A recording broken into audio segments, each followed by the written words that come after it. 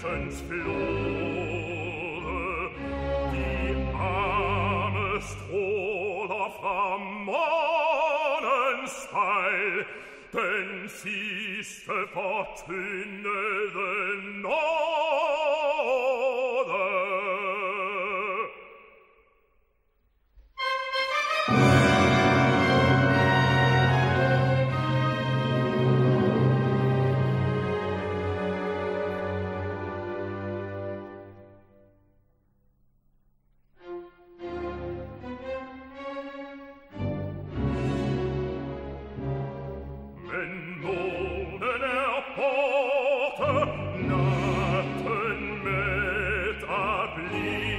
Fenster.